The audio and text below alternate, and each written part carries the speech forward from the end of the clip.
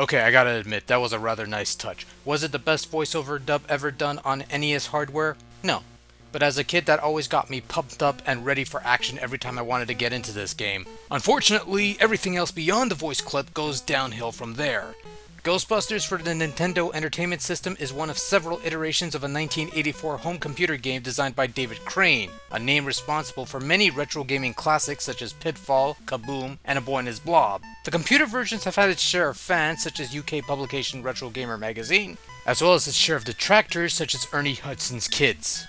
Given that I've never played the computer versions, I can't really say for sure if they're any good or not, but the NES iteration of Ghostbusters, which was ported over by a Japanese company called Bits, is a downright miserable experience. Contrary to popular belief, you do not actually play as the Ghostbusters themselves. There's no Dr. Peter Venkman or Egon Spengler to be found in the game, but instead you're starting up a brand spanking new Ghostbusters franchise and must purchase the necessary equipment to start busting ghosts across town and make some money, all the while preparing for the inevitable encounter with Gozer and the Stay Puft Marshmallow Man. How convenient. So Ghostbusters begins with this bland looking map screen with identical buildings, Basically, you move around your Ghostbusters logo all over the place searching for ghost infestations, acquiring ghost busting equipment, refueling your Ecto 1, and the like. Whenever you enter a building with the required equipment, of course, the game will switch to this bland, unappealing looking driving stage where you'll guide your Ecto 1 past other cars. The driving lasts the distance it takes to reach your destination, or once you run out of gas, at which point you're greeted with this lovely scene of your anonymous Ghostbusters pushing the car to the gas station to fuel up while losing some pocket change in the process. Joy! Oh, and by the way, this is what you have to look forward to every time you partake in the driving segments. Avoid traffic, catch fuel barrels to refill, catch ghosts with your ghost vacuum if you have one, absolutely fun stuff. You could hear the excitement in my voice when I say that. And that's all there is as far as the driving goes. It's just a straight road.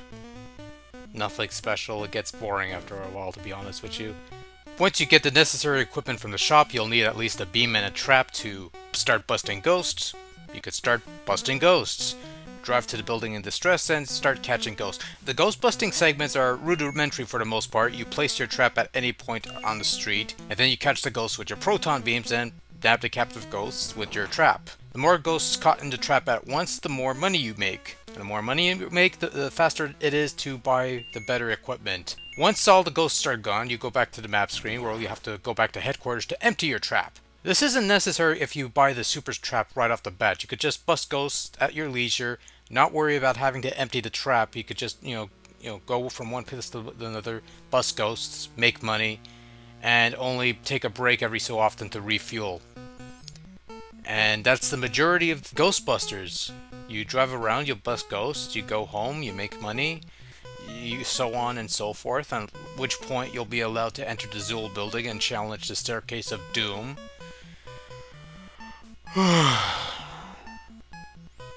yeah.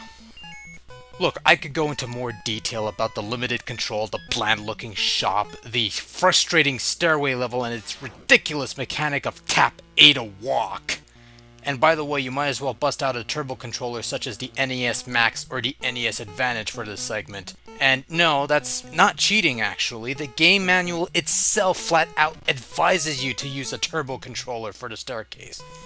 That's a red flag right there, but yeah, I could dwell into that as well as the constant droning of the Ghostbusters theme as composed by a three-year-old, the apparent lack of any sound effects save for a barely a handful, and the really, really, really subpar graphics paling in comparison to what you could get out of an original Magnavox Odyssey from the 1970s. But there's really no point. You see, folks, when you get right down to it, Ghostbusters' main problem is that it's boring, tedious, and not entertaining.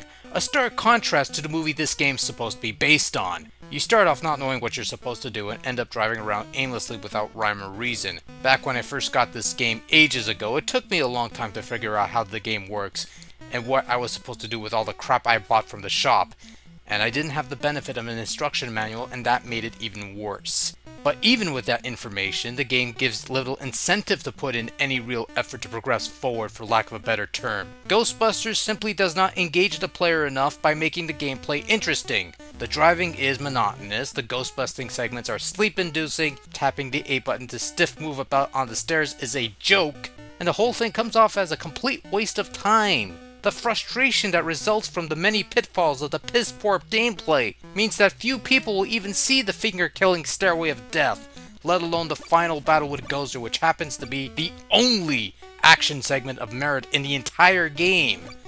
Now, like I said, the NES version is one of several iterations of the original 1984 computer game. I haven't played any of the other versions of Ghostbusters. Supposedly, the Master System version is a much better version of the game, but after playing this NES game, I have no real desire to check out any of the other versions. This NES Ghostbusters game is just that bad of a game to sour me on any of its brethren, and it's a relief that future Ghostbuster entries didn't attempt to follow up on this style of gameplay, opting for more traditional styles of gameplay such as platformers and the like.